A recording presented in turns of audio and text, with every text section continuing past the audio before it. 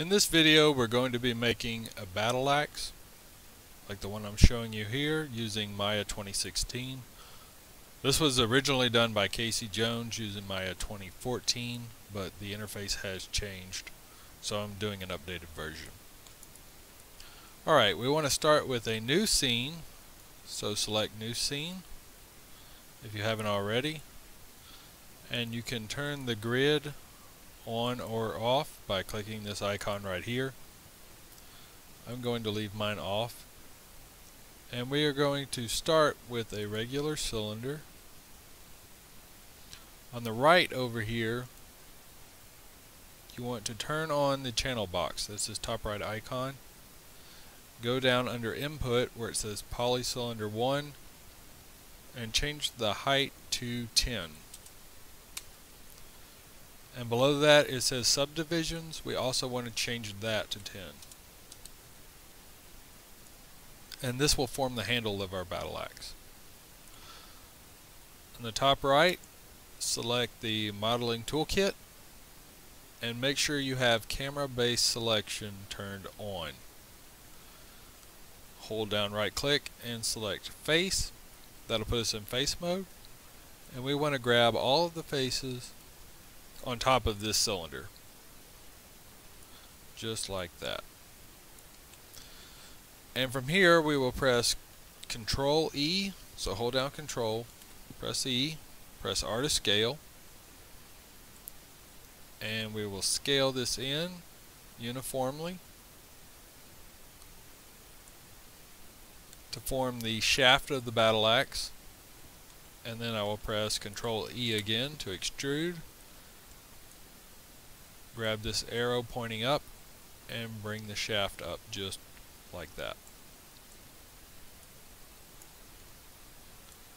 Then I will press Control E again, press R to scale, scale out about like that to form a cap for the head of the battle axe to sit on and press Control E to extrude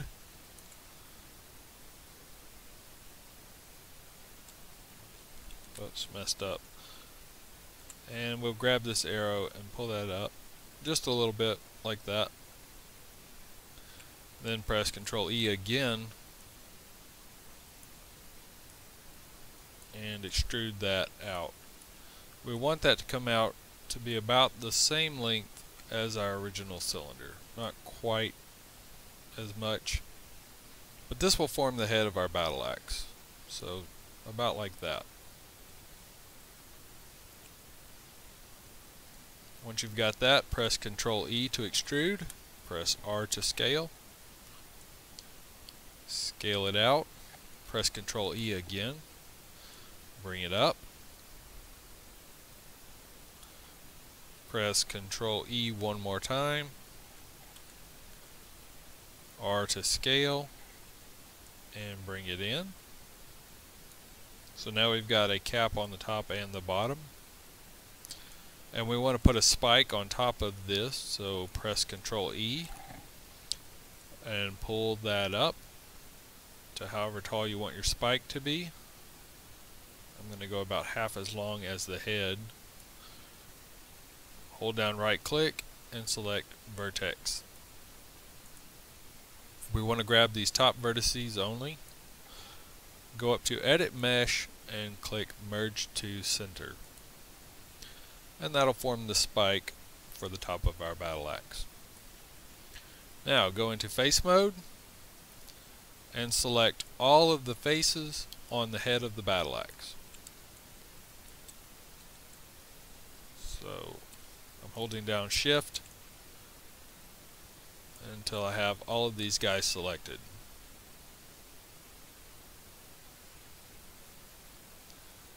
Okay, and then press R to scale. And that's going to bring out a set of vertices, or a set of axes rather. You want to look at these two horizontal axes. One of these is going to come right through the seam of these faces. The other is going to come right through the middle of one face. So you can see that this one is coming right through the middle I'm going to hold shift and deselect that face. Then I'm going to rotate 180 degrees and deselect this face as well. So I should have four faces selected on both sides. Once you've got that, you can press Control E to extrude, press R to scale, and scale this out uniformly on both sides. And you can see we're forming the head of our battle axe. Once you've brought it out, go up and click on wireframe mode. Hold down right click and select vertex. We want to select all of the vertices on this side of the axe head. So drag a box around those. And if you're still in scale mode, you can grab this square right here. Whoops, I made a mistake. On the right here where it says camera based selection, we want to turn that off now. That way I can grab all of the vertices and then we will scale those out to the end until they're all lined up. So it should look like that. And we'll do the same thing on the other side. So select all of these, scale until they're all lined up. So it should look like a hammer.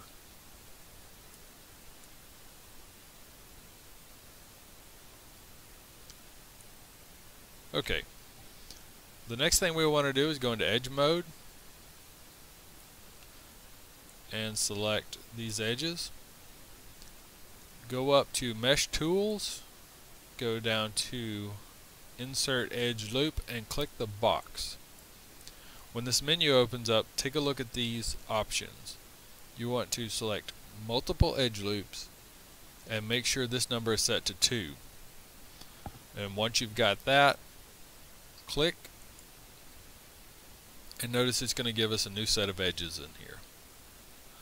And we'll do the same thing on the other side select these edges and click on one of those edges.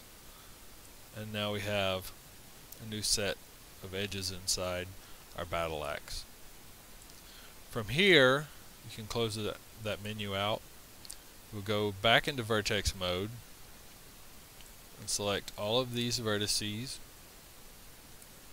press R to scale and we're going to scale those until they're all lined up. Puts them in with a little bit of a curve. We don't want that curve. So I'm showing you how to fix that. Select the next set of vertices. Line those up and we'll do it for the other side as well.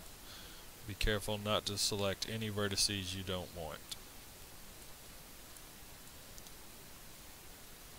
And it should look like that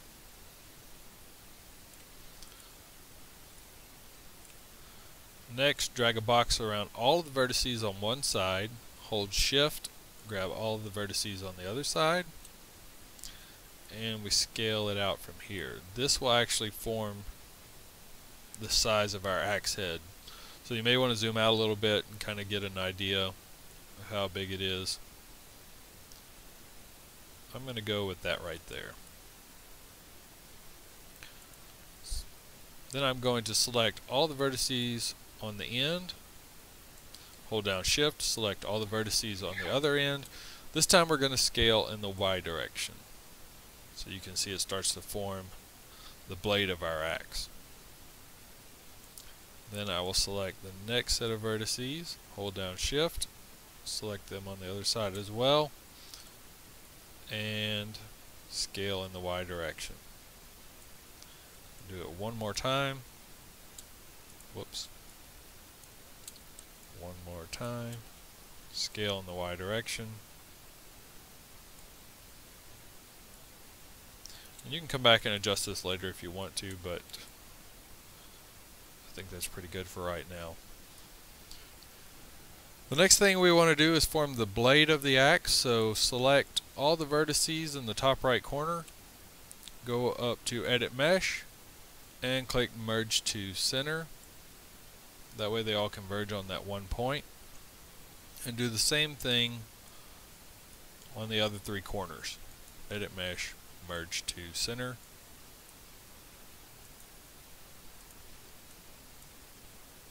just repeat that same process.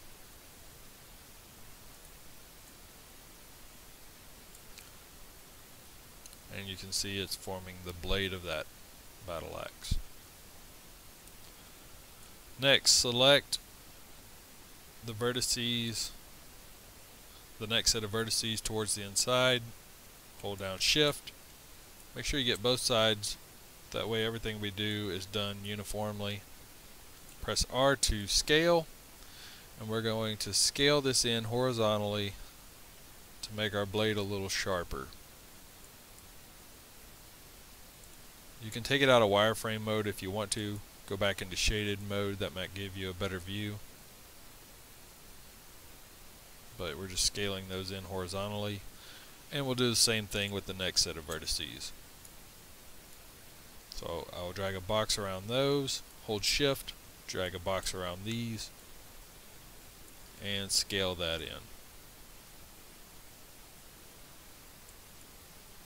Just like that.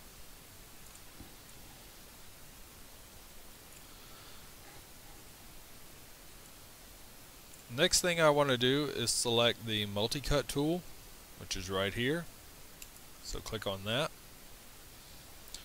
Hold down shift and approach the blade of the battle axe on this edge and click one time. When you hold down shift, it's going to create a new vertex right in the middle of this edge. Then you're going to right click off of the battle axe, hold down shift, and we'll add one more vertex towards the top. Right click off hold down shift and we'll add a third vertex at the bottom. And that gives us three new vertices along that edge so we can add some curvature to this blade. And we'll do the same thing on the other side.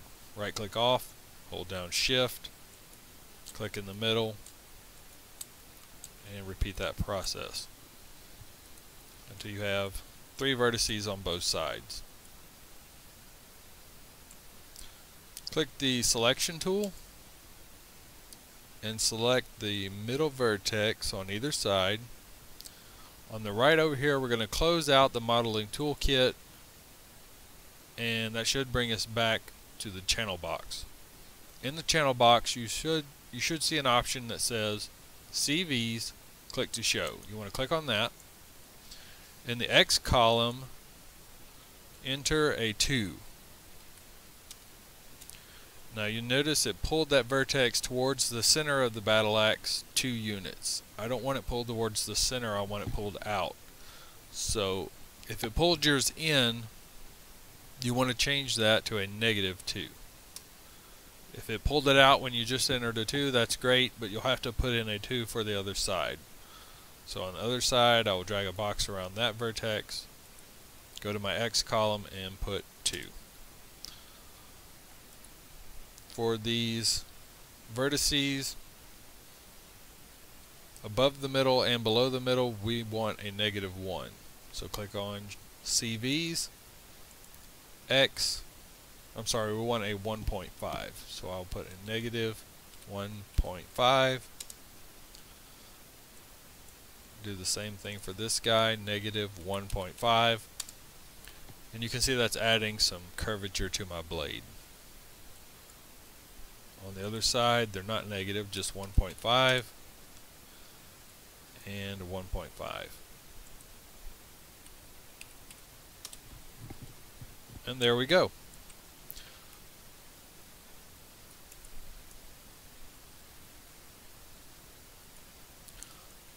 Last of all, we want to doll up the handle just a little bit.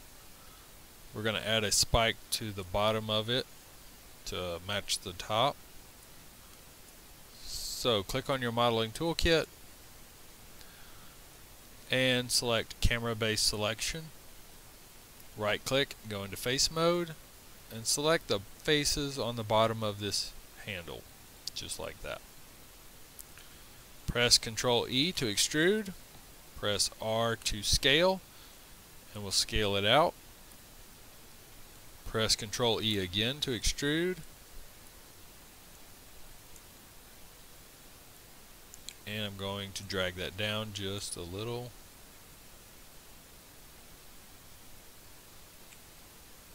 Press Control E again and R to scale. We'll scale back in.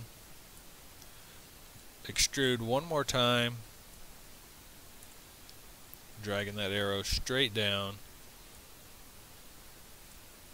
until I've got enough to form a spike here. And we'll do it just like we did the top. Go into Vertex. Whoops. Go to Vertex. Select all these vertices at the bottom. Go to Edit Mesh and Merge to Center. So now we got a nice little spike on the bottom of our handle. And then to look it over, you can go into Object Mode, click off of the battle axe, and view it from whatever angle you want. And this is a pretty nice battle axe. This is probably the sharpest digital battle axe I've ever seen. So if you had some digital butter or maybe even a carrot or something, there's no doubt in my mind that this axe would cut right through it. So if you made it this far, well done. Save your work and we will texture this at a later date.